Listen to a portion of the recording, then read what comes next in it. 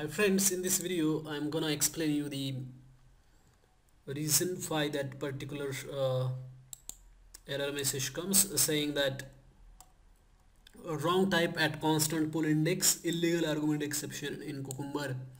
So when you try to uh, execute your feature file and you are using the uh, lambda expressions or the Java 8 API in the Cucumber. So for example, uh, as you can see over here, I'm using cucumber-java 8 artifact.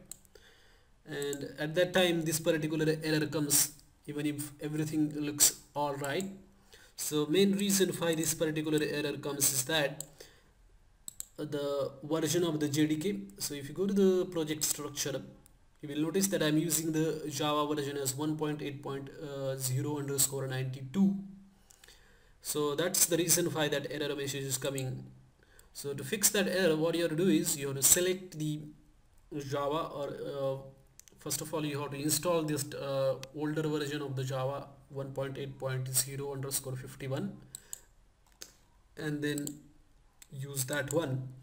Once you make that change and then uh, re-execute this scenario that error doesn't come.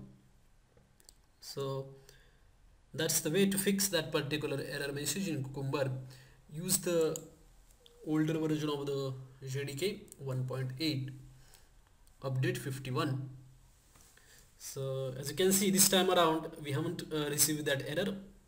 And the uh, lambda feature file feature file is running now without any issues.